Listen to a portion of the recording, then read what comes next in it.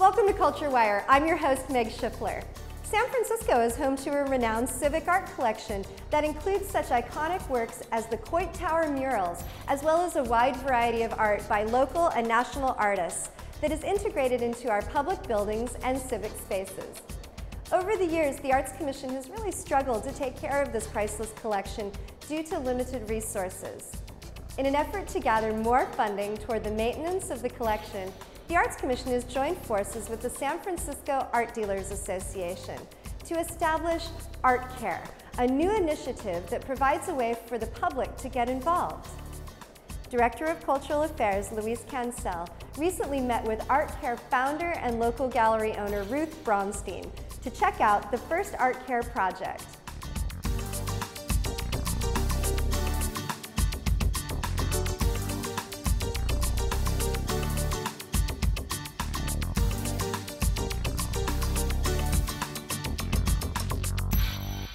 Welcome to Culture Wire. Many San Franciscans are not aware that the city of San Francisco has a civic art collection that numbers almost 4,000 works of art. And preserving that collection and maintaining it is something that is being addressed by a new program called Art Care, which is a way for citizens to participate in the preservation of this civic art collection and this treasure. With me today is Ruth Braunstein, the creator the, uh, of the Arts Care program. Welcome, Ruth, to Culture Wire. Nice to be here, and it's wonderful to see the piece done. And the reason we wanted to be interviewing you for this is that the artist in question is Peter Voulkos. That's right. And why is Peter Voulkos so important to the history of San Francisco art? He's the one who freed uh, people from making pots to making ceramic sculpture. He's a very famous ceramicist, and knowing of the limitations of clay, he got involved in, in uh, bronze around 1961-62 while he was teaching at the University of California in Berkeley. And I know that your gallery, which is actually this year celebrated its 50th anniversary right. of continuous operations, you were a pioneer in introducing the work and representing the, Peter Voulkos. Well, I represented him since 1966, but I wasn't really the person because I wasn't in business until 1961. And he, uh, he made it big, quote unquote, since he started working in clay because this work what he was doing was things they have never seen before. Well, it's, a, it's a large scale bronze and uh, it has now been sitting here at the Hall of Justice since 1971. Could you talk a little bit about what happens to a work of art that's out in the elements all this time? There's a big problem involved with when the uh, Arts Commission commissioned this piece. They didn't put away money set aside for, for repair or work. And it, it, it, this one has just sort of slowly changed color over the period of time. Now I'm seeing it now. It's very exciting because it was black just like this. And so it's been restored it's been to restored the patina yeah. That it originally had when it was commissioned. That's right. And luckily, there's been no damage done to it. And there was no damage done by the whole community, which I think is unaware, unusual.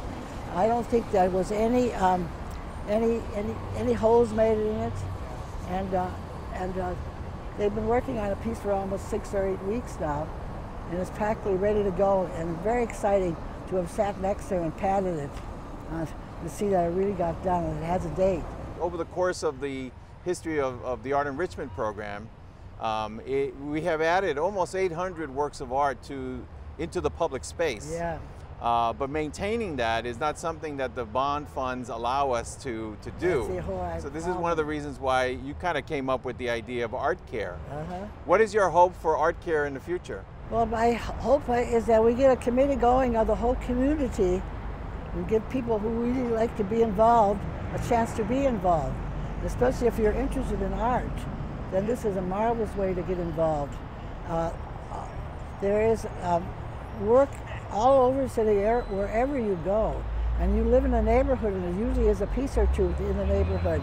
And my idea was to get the people in the neighborhood to take care of the pieces and not the, have the Arts Commission have the money for some of the really bigger, bigger pieces.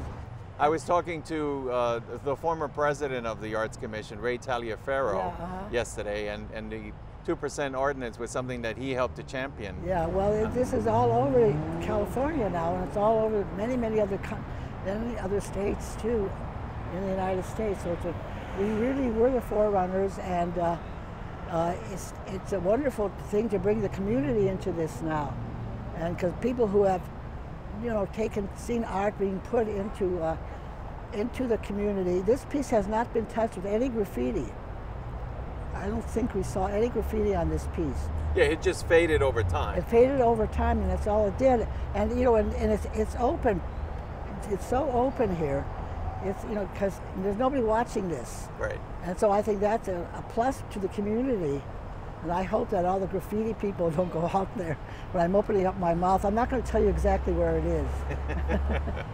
well, Ruth, really, I wanted to thank you for the 50 years that you've already given this city as, a, as, a, as an arts leader. Well, I started in Tiburon, yeah. so it's only 45. and, um, you know, really thank you for, you know, introducing, you know, Peter Voulkos's work and championing it over all these years.